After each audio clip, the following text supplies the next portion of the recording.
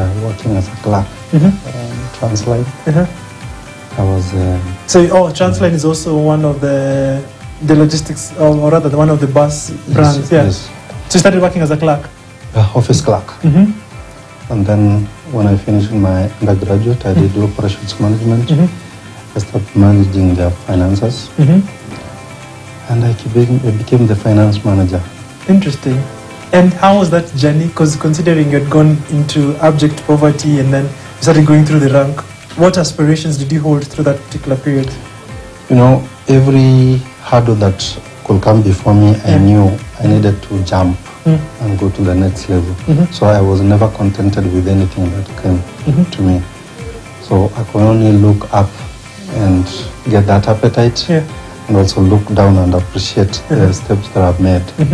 Yeah, that's what kept me moving from one place to the other, one And point it's- to the other. And it's very interesting. I think maybe I've not also gone so much into it. But you'd mentioned that when you're university, you had to do odd jobs. So, okay, besides the cyber, which was at least a good job, quote unquote, back in the day, for some come Django, what else did you actually do? I could do mjengo, Uh-huh. I could do some washing Mhm.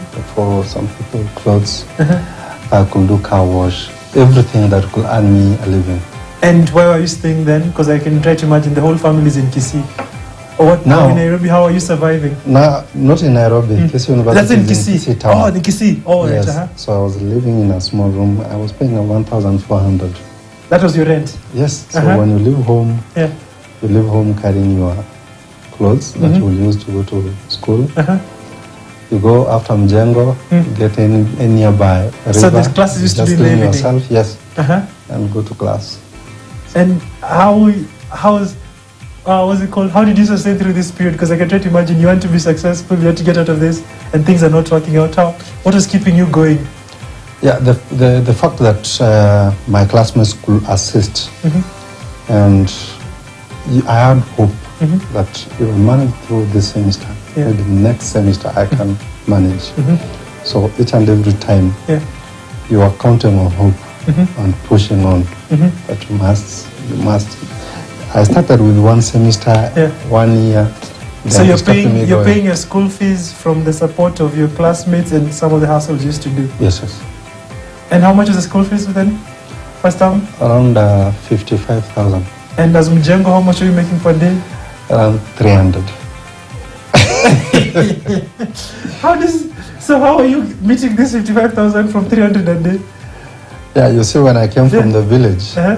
it was paid almost two Oh, year- almost uh, one year. That was Oh. almost two semesters. It was the Harambee, the whole village had to Mm. come through. so from Uh-huh. there, I was only topping up. Ah. So each and every time, Mhm. I was almost ahead of the school fees. or at least you're Mjengo, you're 300 Narosha Kombele, Kombele. Yes, yes. Going through all these difficulties, because all these are hurdles, what's it called? Having struggled paying your school fees, being an IDP, finishing school in debt, trying to go into college. What did what has difficulty taught you? Uh, the only teaching I got from this is that never give up. Mhm. You know, when you hit the wall, there's a door. Mhm. So you just walk through. Interesting. And how you keeping that? I, I think we- I'm just trying to imagine all the problems because I've never experienced all that you've gone through. Um, just keeping sane all through. Were you never depressed? Ever depressed was not something that was in No, your no, no, no, no. That was not an option Yeah. because you can only get depressed when you've gone high and you're coming down. Uh-huh. But when each and every day you're seeing yourself walking, Uh-huh. just keep walking. Interesting. Mm. And you mentioned that you started off as a clerk. Uh, for how long did you work as a clerk at Transline? Around one year, hmm And how much right now are you earning? 500 shillings a day. Five. and- Oh, so you at least will graduate from 300. Yes, yes. And then uh, you mentioned so for the clerk you worked for one year, and then after that, what happened next? I became the finance manager. Mm-hmm. Yes. Still at Transline, based in Kisii. Yes. And now, how salary grew to what percent? Uh, not so good Mhm. because it started with uh, 10 plus the 500 that I was earning. Also, Then 10. 10,000 per month. per month, and Uh-huh. then there's this 500 daily. That was as a it manager. kept on graduating. Yes, Uh-huh. yes, yes. And then how did you graduate? I like knowing about the By the finance time- journey. by the Don't time you I was God, you understand this journey so that you can see God through it. By the time I was leaving the guy, it had gone as 50. Ah, Yes. interesting. And going through this corporate ladder from, I believe you'd never touched 50,000 before.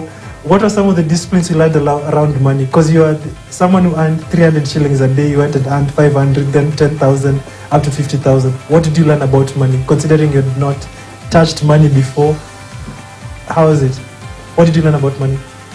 Okay, you know, um, I was surrounded by business people. Mm-hmm. So each and every time I had an appetite to try and do business. Mhm.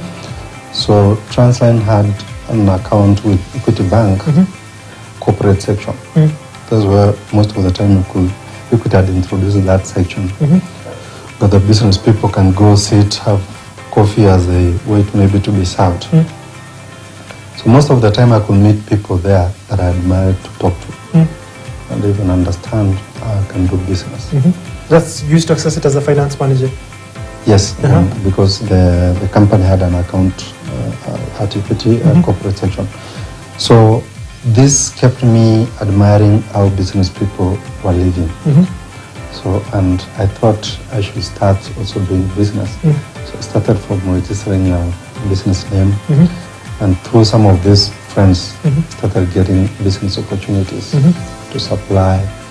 So it started somewhere. Mhm. The journey started, and then even my uncle now who is the chairman at Kenya then Yeah. helped me secure some job Yeah.